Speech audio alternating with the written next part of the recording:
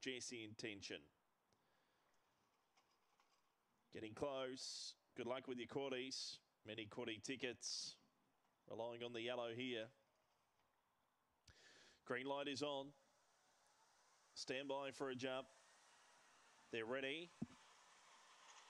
Racing, quarter broke okay in the centre of the line, is surging forward now. Jesse Intention came across and bumped with Quarter, who found the lead. Two into third, Lockanora ahead of Louis.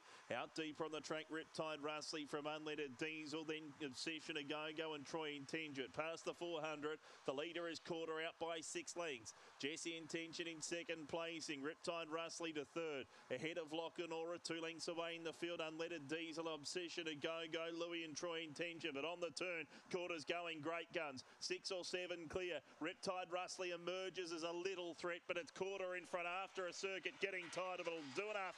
Quarter all the way. Second across the line was Riptide Russley, charging into third Troy Intention to be there with Lockanora and Jesse Intention on the inside for photos.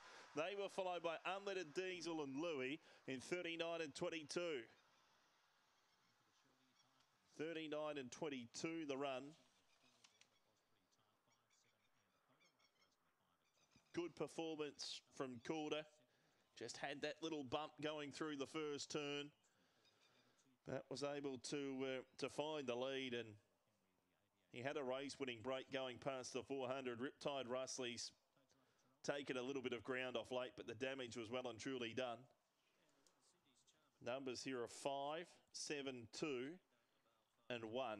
5, 7, 2, 1 after the running of the fifth.